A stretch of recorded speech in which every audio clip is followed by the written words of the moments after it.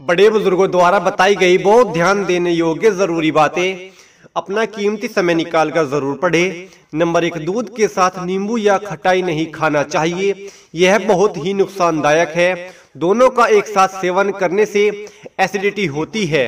Number दो, जिसके गले में खराश हो, वो एक गिलास गर्म पानी में आधा चम्मच नमक और एक चुटकी हल्दी डालकर दिन में तीन से चार बार गरारे करने चाहिए। नंबर तीन, जो लोग पेट के बल सोते हैं, उन्हें हार्ट अटैक आने का खतरा ज़्यादा होता है। साथ ही ऐसे लोग सामान्य लोगों से ज़्यादा आलसी भी होते हैं। नंबर चार, रात को एक मुट्ठी कच्चे चने की दाल को एक गिलास दूध में भिगोकर रख दे। सुबह इसमें पाँच से छह किशमिश और मिश्री डालकर खाए। ऐसा रोज़ाना करने से दुबलापन दूर हो जाएगा और चेहरे पर भी निखार आएगा। नंबर पाँच, प्याज को काटकर ट्यूबलाइट या बल्ब के पास बांधने से बरसात में उड़ने वाले कीड़े छिपकली मच्छर घर में नहीं आते हैं। नंबर छह दिन भर पूरे लंग्स फुलाकर सांस ले, इससे बॉडी में ऑक्सीजन की मात्रा बढ़ेगी, साथ ही लंग्स भी हेल्दी रहेंगे। नंबर सात, दिन में बैठते समय पीठ का पोस्टर सही रखे इससे बैक पेन की प्रॉब्लम नहीं होगी। नंबर आठ, आँख के ऊपर दाने उभर आने पर लोंग घिसकर लगाने से दाने बैठ जाते हैं। नंबर नौ, हमेशा खाने के साथ हरी मिर्च खाए। ये जिस्म की चर्बी कम करने में मदद करती है।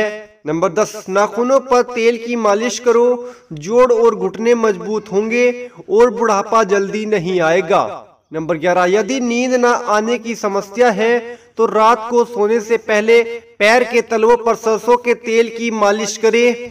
ऐसा करने से नींद जल्दी आ जाएगी। नंबर बारह, अगर आपकी हड्डियों में दर्द रहता है तो राजमे का सेवन करें।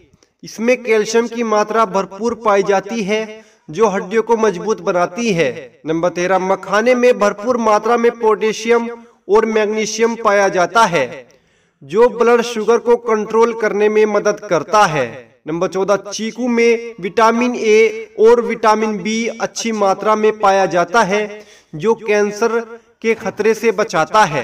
इसमें एंटीऑक्सीडेंट, फाइबर और अन्य पोषक तत्व पाए जाते हैं जो कैंसर सेल्स को बनने से रोकते हैं। नंबर पंद्रह चुकंदर में आयरन की मात्रा अधिक होती है इसके सेवन से चेहरे पर ग्लो आता है। नंबर 16 जामुन के बीज सुखाकर उसे पीसकर उसका पाउडर बना ले इसका सेवन करने से पथरी जैसी और कैंसर जैसी बीमारी से राहत मिलती है। नंबर सत्रह, दोपहर के खाने के बाद काला आलूचा खा लेने से बुढ़ापे में कमज़ोरी नहीं होगी। नंबर अठारह, अगर आपके शरीर में खून की कमी है तो रोज़ाना आप जीरे के पानी में गुड़ मिलाकर पिया करें। इससे आपकी खून की कमी दूर हो जाएगी। नंबर उन्नीस, मसालों को खराब होने से बचाने के लिए उसमें थोड़ा सा नमक मिला दे। ऐसा करने से मसाले में जाले नहीं पड़ेंगे। नंबर बीस, काले चने की रोटी बनाकर खा लेने से बाल काले और सेहतमंद होते हैं। नंबर इक्कीस, भोजन के बाद सौंफ का सेवन ज़रूर करना चाहिए, क्योंकि सौंफ में फाइबर भरपूर मात्रा में पाया जाता है, जो कोलेस्ट्रोल लेवल को कंट्रोल में रखता है। और हमारी पाचन शक्ति को भी मज़बूत करता है। नंबर 22 पानी और कच्चे लहसुन का मिश्रण आपके शरीर को डिटॉक्स करने में मदद करता है और डायबिटीज़, कैंसर और अलग अलग बीमारियों के होने से भी रोकता है। नंबर तेईस, अगर घुटनों में दर्द हो तो सुबह खाली पेट तीन से चार अखरोट की गिरिया निकालकर कुछ दिनों तक खाना चाहिए। इसके लगातार इस्तेमाल से घुटनों के दर्द में आराम मिलता है नारियल की गिरी भी खाई जा सकती है। इससे घुटनों के दर्द में भी राहत मिलती है। नंबर 24 दिन भर की थकान के बाद यदि आपको आराम चाहिए तो एक ठंडे पानी की बोतल अपने पैरों के नीचे रखकर आगे पीछे करे। इससे थकान दूर हो जाएगी। नंबर 25 पपीता गठिया में बहुत ही फ़ायदा करता है। और पपीता खाने से चेहरे का रंग भी साफ़ हो जाता है। नंबर 26 दूध में हल्दी मिलाकर पीने से हड्डियाँ मज़बूत होती हैं और जोड़ों और गठिया जैसी बीमारी के दर्द से भी छुटकारा मिलता है। नंबर 27 अगर गुर्दे की पथरी से छुटकारा पाना चाहते हो तो तीन हल्की कच्ची भिंडी को पतली पतली और लंबी लंबी फाके काट ले और कांच के बर्तन में दो लीटर पानी में कटी हुई भिंडी डालकर रात भर के लिए रख दे। सुबह भिंडी को उसी पानी में निचोड़कर भिंडी को निकाल ले।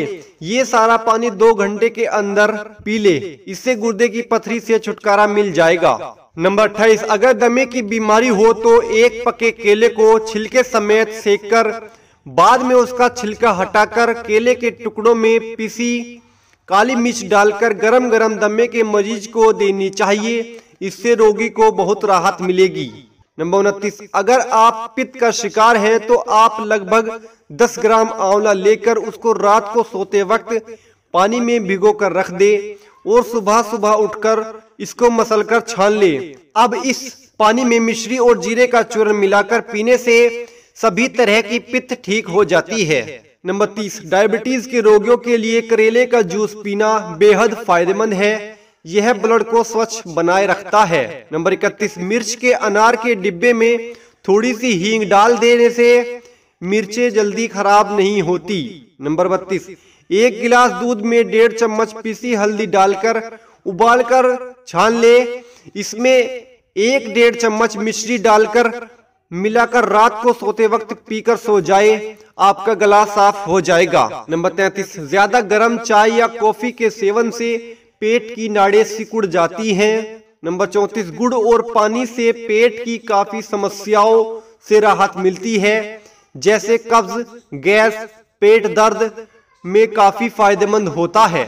नंबर 35 रात भर जीरे को भिगो कर सुबह जीरे का पानी पी ले। इससे आपका लीवर मज़बूत होगा और कब्ज की भी समस्या दूर हो जाएगी।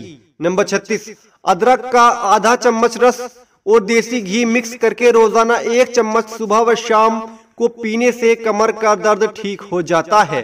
नंबर सैतीस, पानी में थोड़ा सा नमक और नींबू का रस मिलाकर बैंगन और केले काट कर रखने से काले नहीं पड़ते हैं। नंबर अड़तीस, जल्दी सोने वाले और जल्दी उठने वाले लंबे अरसे तक जवान दिखाई देते हैं। नंबर उनतालीस, अगर आपको भूलने का मसला है तो एक हरी इलायची और एक चुटकी पिसी हुई दालचीनी चबाकर एक गिलास दूध पीने से आपकी याददाश्त तेज हो जाएगी। नंबर चालीस, जख्म की सूजन दूर करना है तो प्याज को जलाए और उसमें हल्दी मिलाकर जख्म पर लगाए।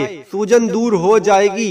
नंबर इकतालीस, प्याज के साथ दूध का समान कार्य करता है। दूध और प्याज को एक साथ खाने से कई प्रकार के त्वचा रोग होते हैं। नंबर बयालीस, सुबह के वक्त जीरा चबा लेने से वज़न में कमी होती है।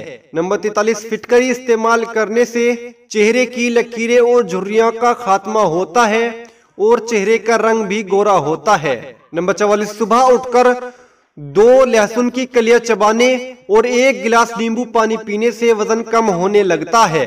नंबर 45 पुदीना, अदरक और अनार के दानों को मिलाकर कूट कर उसकी चटनी बना ले और दोपहर में खाने के साथ सेवन करे। इससे ब्लड प्रेशर कंट्रोल और शुगर की बीमारी नहीं होगी।